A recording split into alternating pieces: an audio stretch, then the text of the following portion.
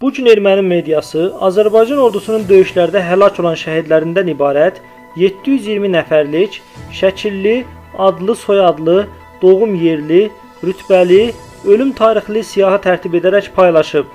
Azərbaycan sosial şəbəkələrində yazılır ki, bu məlumatlar Azərbaycan tərəfinin sosial şəbəkələrdə paylaşdığı məlumatlar əsasında hazırlanır.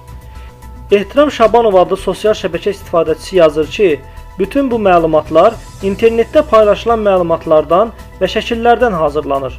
Sitat: Bir-bir baxmışam. Bütün şəkillər sırf şəhidlərin Facebookda paylaşılan şəkilləridir. Üstəlik də deyirlər ki, siyahı hələ tam hazır deyil.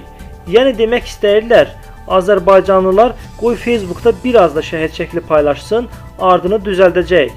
Çox sağ olun. Çox gözəl dəstək oldunuz ermənilərə deyə Şabanov yazaraq davam edir.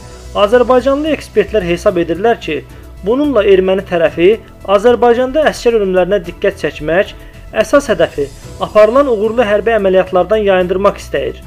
1-ci Qarabağ müharibəsinin qazisi olmuş Rey Kərimli də bununla bağlı sosial şəbəkələrdə iradını bildirib. O deyib, sitat: "Düşmən bilmir bizdən kim necə şəhid olub.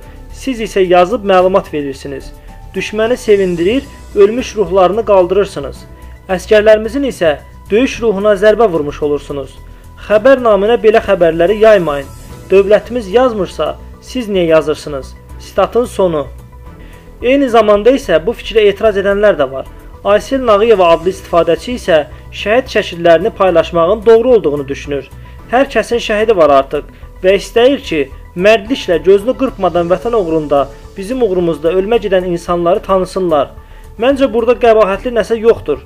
O siyahlara qalanda isə o qədər içimizdə ermənilərə işləyən və xüsusi olaraq xəstəxanalara gətirilən yaralılarımızın, şəhidlərimizin siyahısını verən insanlar var ki, məncə qəzəbiniz onlara olmalıdır. Sitatın sonu. Qeyd edək ki, Rusiya prezidenti Vladimir Putin dünən Valday konfransında etdiyi çıxış zamanı tərəflərin ümumi itkilərinin 5000 nəfərdən çox olduğuna diqqət çəkib. Rusiyalı hərbi bloger Yuri Podolyaka isə bu itkilərin ən azı 60%-nin erməni tərəfindən olduğunu deyib.